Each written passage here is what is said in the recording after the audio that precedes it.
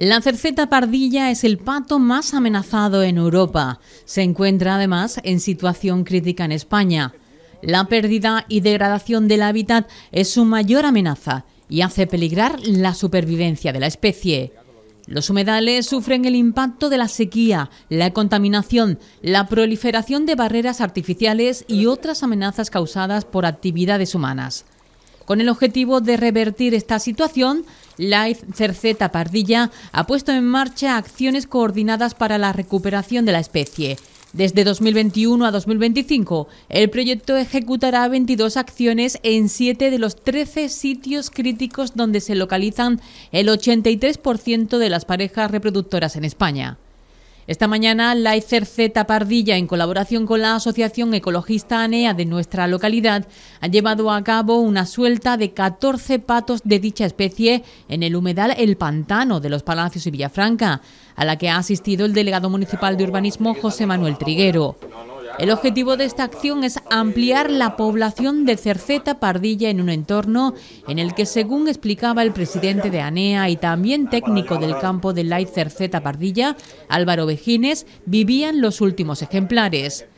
Todas van anilladas y tienen radiotransmisor para poder hacerles un seguimiento con la esperanza de que se reproduzcan en este entorno. Estamos aquí en el humedal El Pantano con la suelta de 14 cercetas pardillas, que es una especie que está en peligro crítico de extinción. Es ahora mismo el pato más amenazado de toda Europa y los últimos ejemplares quedaban aquí en las marismas del Guadalquivir y unos pocos también en Valencia. Y en este proyecto pues se están haciendo sueltas para ampliar la población y se sueltan a lo largo de muchos humedales de Andalucía. Y entre ellos ha elegido el humedal del pantano porque tiene muy buenas características y, ha habitado, es uno de los territorios, de los antiguos territorios de la cerceta pardilla.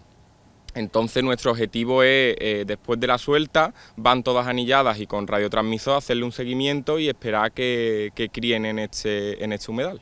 Con la Fundación Lai Cerceta Pardilla se pretende que nuestro país conserve no solo a uno de los patos más emblemáticos del territorio nacional en peligro de extinción, sino también uno de los ecosistemas más importantes para la salud del planeta, los humedales, uno de los principales aliados además en la lucha contra el cambio climático.